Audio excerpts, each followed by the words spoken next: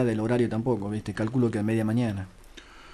Asumís en, en ANSES, eh, sé que has estado en Buenos Aires charlando con la gente, creo que haciendo cursos también. Sí. Eh, contame un poco. Sí, en mayo estuvimos en Paraná también, eh, fueron tres días de capacitación con un grupo de gente de, de todo el país.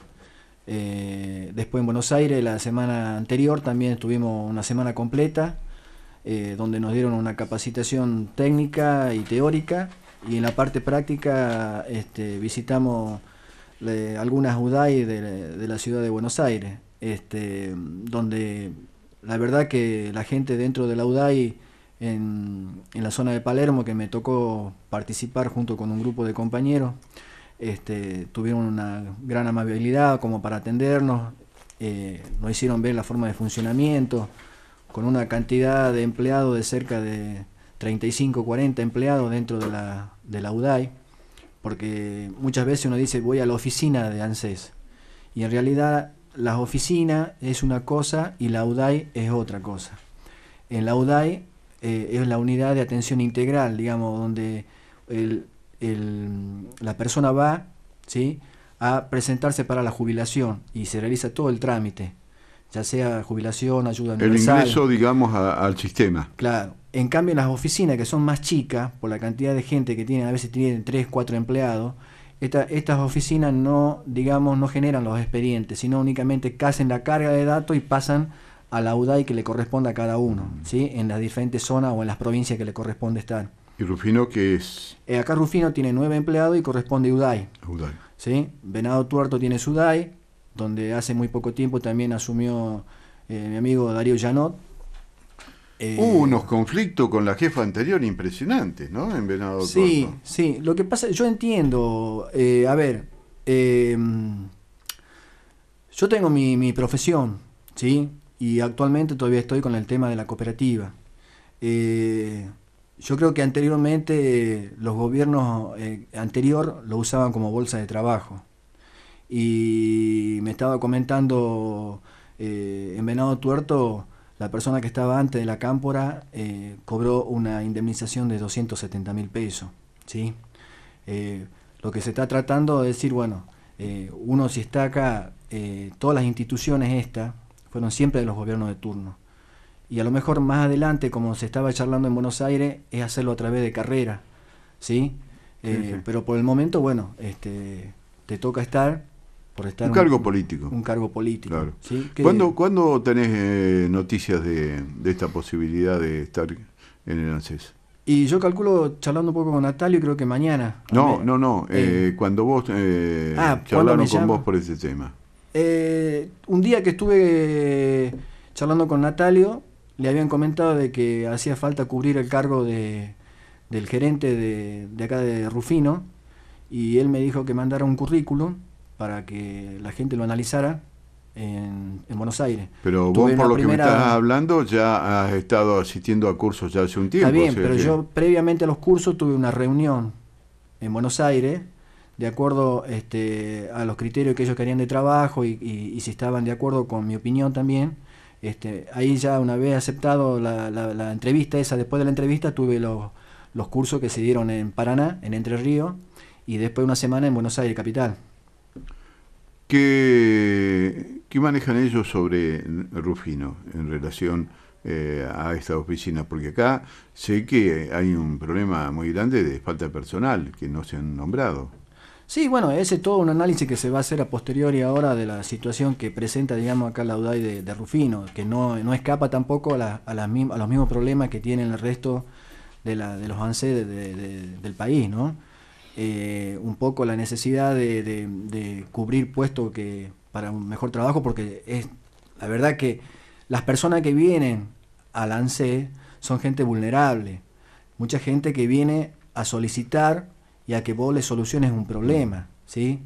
Eh, y yo entiendo que a veces para los mismos empleados, como lo estuve viendo en Buenos Aires, del ANSES eh, terminan un poco también este, estresados por todo el trabajo que tienen, por la carga de datos, que no es, no es poca. y bueno, eh, el tema es también agilizar un poco los juicios que están pendientes. Ya dentro de poco tiempo ya está la media sanción por parte de la ley Sí. para el pago de los jubilados que estaban haciendo juicio, los que están en trámite y los que tienen sentencia firme. ¿Vos tenés Eh, alguna información de aquí en Rufino? ¿Qué No, cantidad? todavía no. Lo que sí sé ¿Vos has tenido alguna charla ya con la responsable de este momento? No, por ahora no, con Estelita. Sí. No, con Estela no, no tuve ninguna charla. Así que bueno, veremos mañana cómo, cómo, cómo nos juntamos y, y vemos cuál es la situación actual.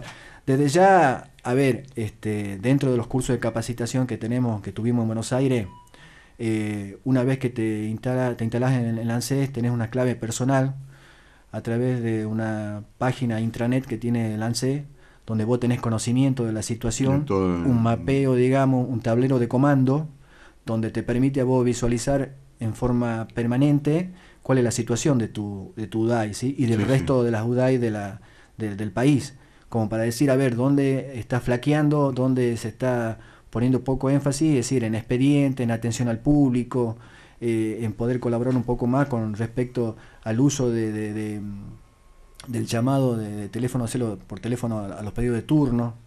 Así que bueno, hay un trabajo que hay que hacerlo en forma conjunta también, que a veces a lo mejor con la parte social de la municipalidad, que el ANSES salga a la calle, ¿sí? ver la posibilidad de un fin de semana, si poder, este, quien esté dispuesto dentro de, de los empleados que tenga acá la UDAI, de poder ir un sábado a algún club o algo también para poder informar un poco a la gente en el barrio General San Martín. Y bueno, Marcelo, eh, pero no solamente te toca Rufino. Es una zona muy amplia la que abarca eh, aquí eh, la... sí, como la tiene también allá este Venado Tuerto.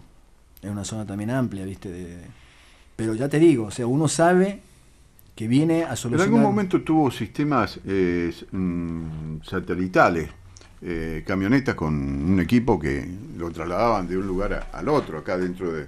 Sí, sí. Pero creo que no, no tuvieron muchos resultados con ese sistema. Sí, creo que no. Sí, porque sabes qué pasa que mm, no es que no dé resultado. Ese sistema, por los comentarios que yo pude este, escuchar a ella allá en Buenos Aires, era de que era mal usado, este, Ah. Juan Carlos, ¿sí? A veces se mandaban a hacer este eh, había gente que ni, ni est- estaba designada y no estaba trabajando en algunas UDAI u oficinas del país. Eh, o como yo te decía, vos podés mandar a alguien un, un- un fin de semana o a algún lugar, a un club o a una localidad a que haga el preste el servicio y se le paga. Y hay gente que a veces ni iba y sin embargo lo, lo cobraban después.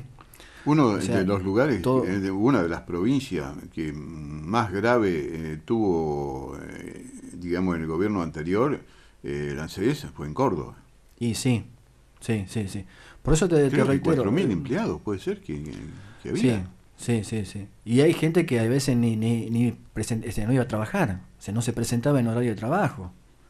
O sea, hay muchas cosas que hay que tratar de, de, de arreglarlas de nuevo y bueno, yo sé que acá, yo te digo, eh, hay un grupo muy, muy importante y muy bueno de, de gente trabajando, que sé que, porque a ver, no porque lo conozca, más allá de que lo conozco porque esta es una ciudad chica, y más allá de que lo conozca porque a lo mejor este eh, me ha tocado ir a, a la a hacer algunos trámites, eh, están predispuestos, tienen toda la capacidad para Sí, llevar siempre- adelante esto. Siempre han tenido eh, una buena imagen la, la oficina de, de Rufino eh, con Alberto y, y con Y la sí, con de esta igual. gente. Sí, sí, sí, sí, se está atendiendo todo eh, dentro de las posibilidades que, que... es muy difícil en la cantidad de, de cosas que, que ahora tienen que hacer ANSES, que antes era más simple, ¿no? Claro. Lo Pero- importante de todo esto es que la gente también este, pueda... eh, a ver, eh, vos como en la AFIP tenés tu clave fiscal, ¿sí? Con Mm. la cual te manejas y podés hacer todo a través de tu página de, de AFIP por internet.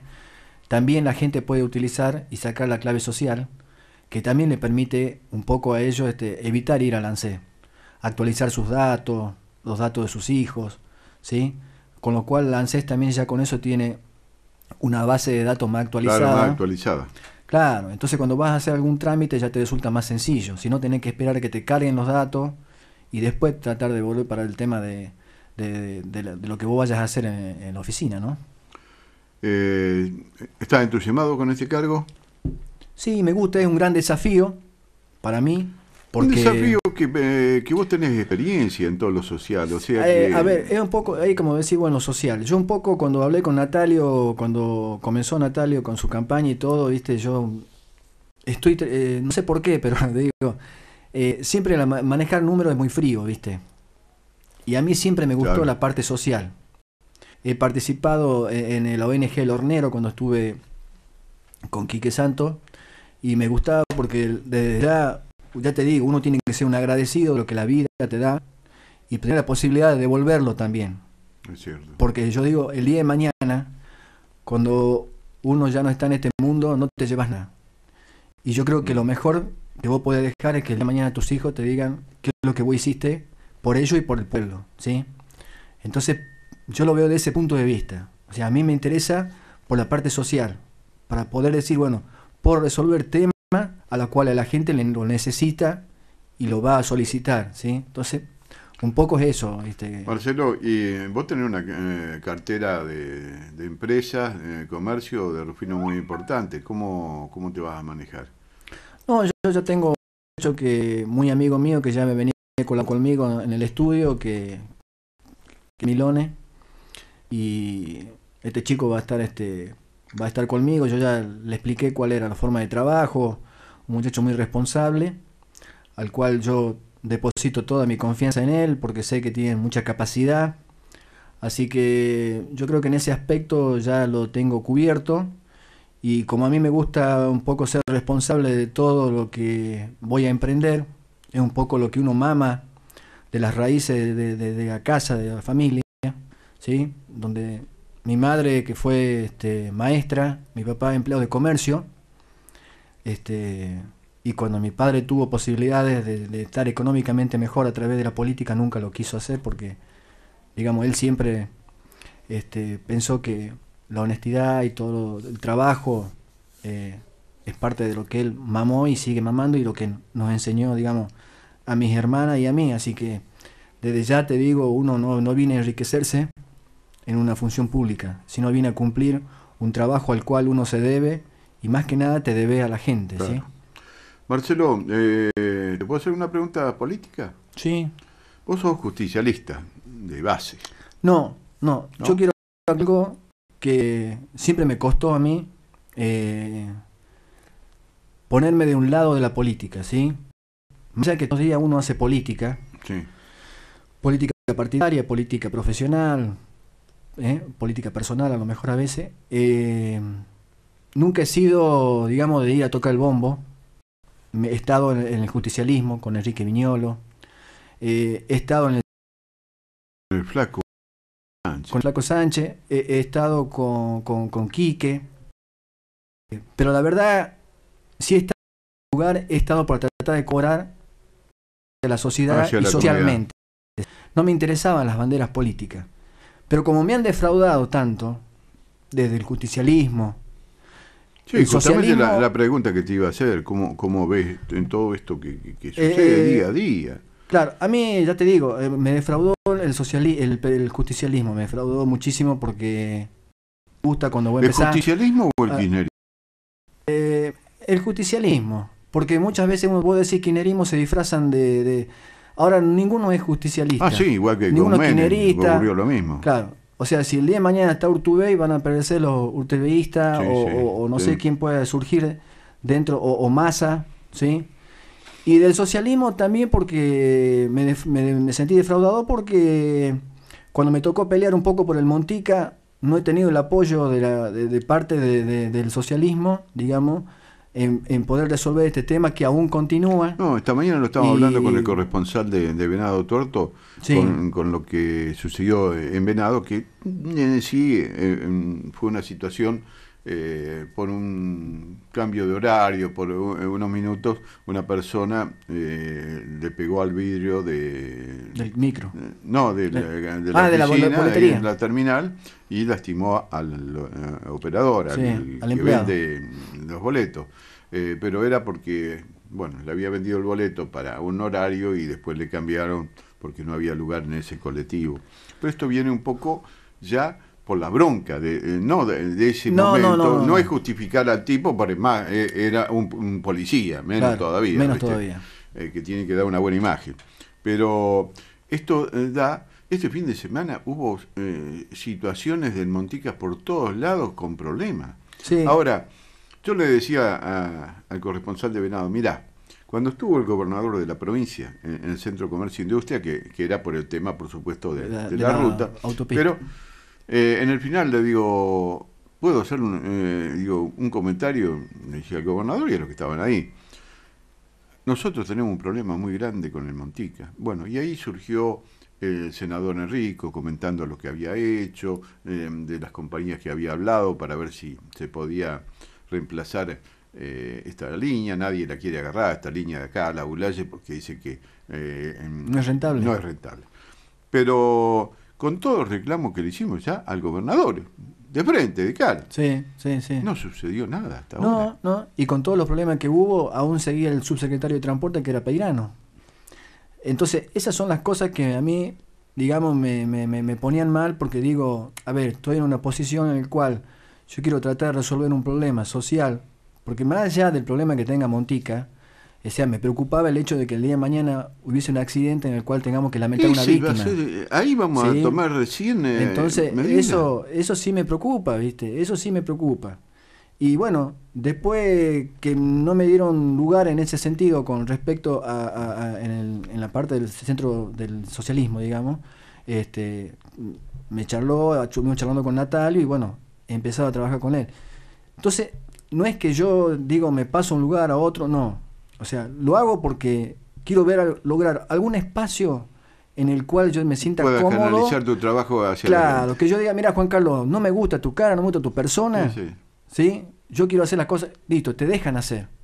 Y si hay algo que no, no te gusta, bueno, que se modifique. ¿sí? Pero para el bien de todo, no es para un solo sector nada más. A mí lo que me interesa es que toda la ciudad de Rufino tenga la posibilidad de tener una mejor calidad de vida, de poder salir adelante con lo que necesita. Porque es la única forma de que, digamos, a ver, o trabajamos todos juntos, o si no, viste, ya se hacen las divisiones, las grietas, que lamentablemente eso te destruye, no te permite crecimiento. ¿Cómo ves eh, el trabajo de Natalio hasta ahora? A mí me parece excelente. Yo jamás he visto el movimiento que hay en la municipalidad. Antes era parecía un galpón abandonado. La gente no iba, no, no, eh, eso es lo que llama la atención, la, voluntad de la gente de ir a pagar. Porque las cosas se están empezando a ver. O sea, ah, yo creo que pasa todo por la credibilidad. O sea, creer que se puede. Pero primero tenemos que colaborar. O sea, yo quiero ver algo, vamos, pagamos, ayudamos y vemos que todo lo que yo estoy pagando se devuelva en obra. Yo creo que veo una ciudad más limpia, yo mira, eh, eh, miraba el fin de semana y ya había visto a la gente trabajando, ¿no? Yo digo, el, centro de la ciudad limpio, una barbaridad. Eh, Por eso... Claro, lo primero que te dice, y pero eso es una obligación del intendente, pero... Está bien que sea una obligación, pero antes... La situación era gravísima y, bueno... Yo creo que todos tenemos derecho y obligación. Vos sabés que un empleado municipal esté cobrando el 30, creo que tienen que valorar esas cosas. ¿Qué te parece? Aparte yo lo veo cómo trabaja, yo le digo el rata, pero la garra que le pone este muchacho es impresionante. O sea, yo a veces yo no duermo siesta, porque la verdad te digo, eh, o me voy... ya no dormían. No, los santiagueños. no, yo, yo, lo que a veces digo... Allá le tenían miedo al robo. por la duda. Pero yo veo que otras, en gobiernos anteriores, la, municipalidad lo ve a los carros parados, en la esquina, eh, con el celular en la mano. A ver, yo creo que un poco se pusieron las cosas en regla. Es decir, tenés tu tiempo, trabajamos en horario y cumplimos. Porque yo digo, el empleado tiene sus derechos y sus obligaciones. ¿sí? Entonces, mientras respetemos lo que es el marco de la ley, todo bien.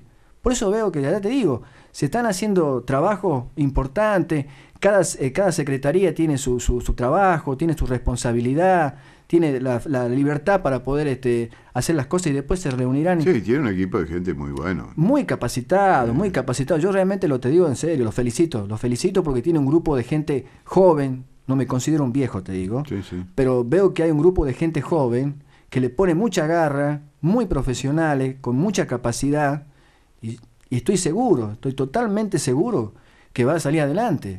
Y si no lo hace él, no lo va a hacer nadie.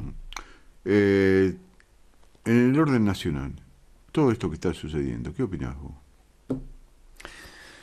Y la verdad, Estamos, o sea, dos situaciones. Lo que ha sucedido anteriormente. De, yo digo que, eh, lamentablemente, en la, la cabeza. Yo digo, cuando pasa algo en tu casa, eh, Juan Carlos, lo primero que va a decir, voy a hablar con el padre o la madre. ¿Sí? Y yo creo que este gobierno ha sido responsable, estos últimos 12 años, han sido responsables de todo lo que se está viendo ahora.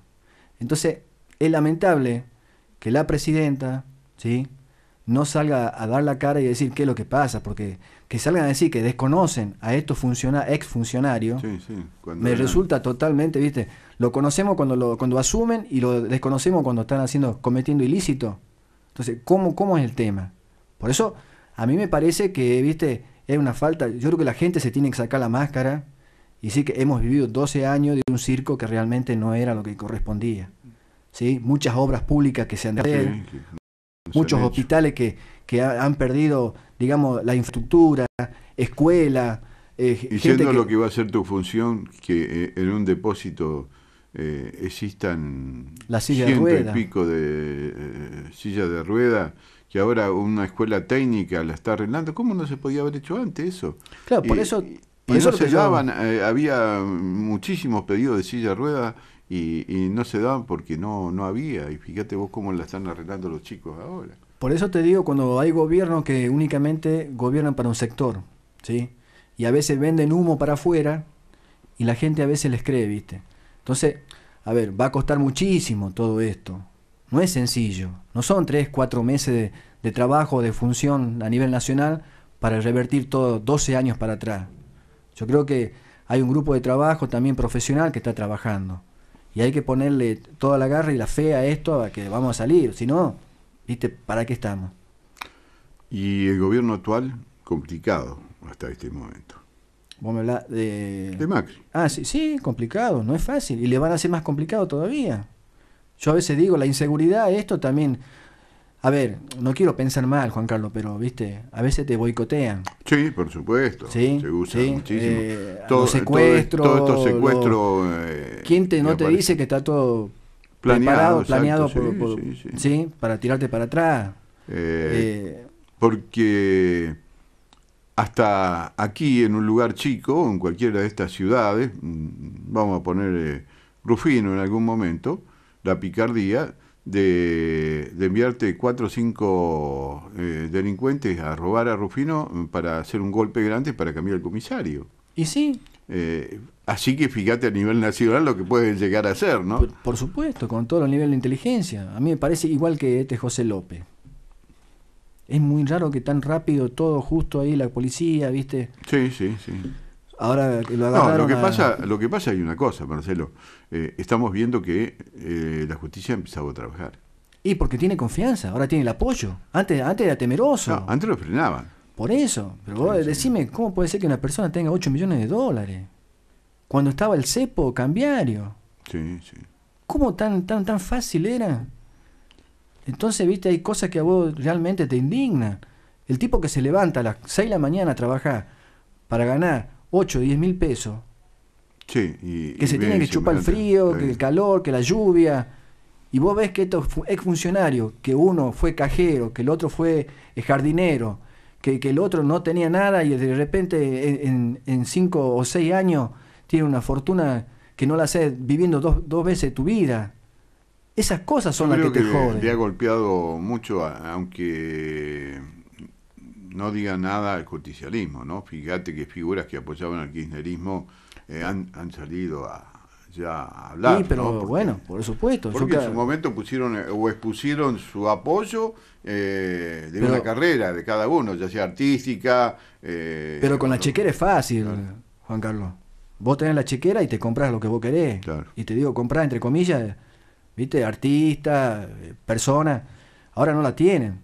Por eso te digo, ¿qué va a pasar con la cámpora también? Que la cámpora le ponían plata y sí, ahora, sí, sí. ¿me entendés? Yo creo que algo grande va a saltar después, igual que este, esta persona que agarraron ahora en la triple frontera. Sí. Si llega a hablar él, si llega a hablar López, Bae, ¿me entendés? Ya pareciera ser que la penitenciaría Sí, de Seiza es, esa- es- es- es la sede del justicialismo, el kirchnerismo. Sí, sí, es Porque hay más gente metida ahí adentro que, que- que en la calle. Fernández se fue por las dudas. Claro, pero él se fue por, por tema del partido de hockey, dice, a Inglaterra. Pero bueno, vamos a ver qué pasa con el triple crimen también, viste que ahí hay muchos funcionarios que están metidos. Yo digo que no, no están con las manos muy limpias y no creo que estén tranquilos tampoco. Que todo que realmente tiene problemas, que la justicia lo, Sí, la justicia se tiene que poner las botas, o sea, y, y- y ponerse firme, no puede ser que ya viste, sea de, de lo actual. Casanelo lo recién ahora se está moviendo. Sí, sí. Ollarvide, ¿qué hizo? Sí, no, es- ¿Todo pagado? todo frenado. Sí, sí. Bueno, Marcelo, desde la radio te deseamos lo mejor, sinceramente, Te- porque te conocemos, sabemos de tu ganas de trabajar, por lo que has hecho, y te deseamos en, el ANSES que, realmente tengas un buen trabajo y, éxito. Bueno, yo te agradezco a vos, Juan Carlos, y a tu familia, porque sé que siempre tuve el apoyo de ustedes y siempre me han brindado un espacio.